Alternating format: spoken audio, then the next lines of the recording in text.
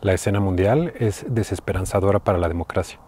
Después de siglos de lucha en casi todos los países por derrocar gobiernos autocráticos, reyes, dictadores, caciques, varias democracias, tanto incipientes como desarrolladas, han tenido retrocesos o descalabros. Tal vez el ejemplo más escandaloso es el de Donald Trump. Después de cuatro años de un reality show plagado de mentiras y odio, el ataque al Capitolio el 6 de enero de 2021 fue una insurrección violenta que intentó cambiar el resultado de las elecciones presidenciales. Las imágenes eran de la primera economía del mundo con más de 200 años de democracia o de una república bananera. Pero Trumplandia no es un caso aislado. Podemos ver como líderes de Rusia, Hungría, China, Filipinas, Venezuela, Brasil, El Salvador, Nicaragua, etc., han ido acaparando más y más poder usando mecanismos similares. La manipulación de las masas es inseparable de nuestra historia, pero ha llegado a niveles inusitados de sofisticación y en México no podíamos quedarnos atrás. Es interesante que líderes autocráticos exhiben eh, una amplia variedad de tendencias políticas. Ya no es apropiado distinguir a gobiernos entre izquierda, derecha o liberales y conservadores. Las diferencias ideológicas han dado paso a diferencias en la distribución y balance de poder.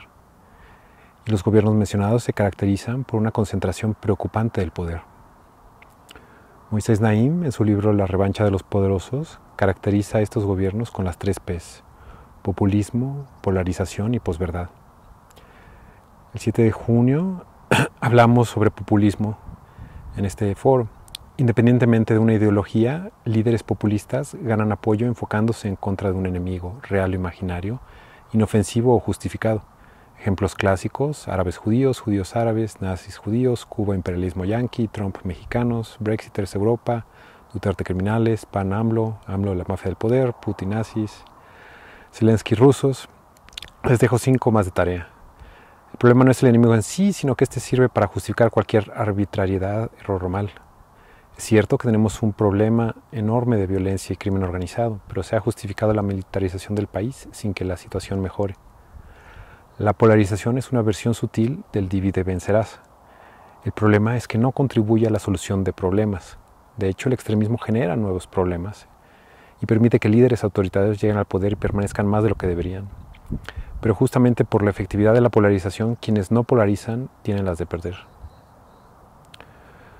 Sobre posverdad eh, hablamos el 20 de julio de 2021. No somos la única especie que miente, el engaño es prevalente en la naturaleza, pero nos hemos esmerado desarrollando nuevas maneras de convencer con falsedades.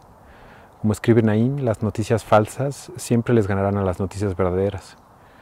Son más jugosas y se propagan más. Los simulacra que, de los que hablaba Baudrillard pueden no tener nada que ver con la realidad, pero son más convincentes que la realidad misma. El libro de Naim hace un buen trabajo no solo clasificando los mecanismos usados por gobiernos autoritarios, sino explicando por qué la mayoría de la gente los está prefiriendo. En la mayoría de los casos no hay gente luchando por sobrevivir o por sus derechos humanos, alimentándonos de miedo, nos venden la percepción de que no alcanzamos lo que merecemos. El problema es que esto genera a la larga un descontento con cualquier gobierno. Y tenemos ejemplos en Argentina, Italia, España y más. También explica el aumento de muertes de desesperación, ya sea por alcoholismo, sobredosis o suicidio.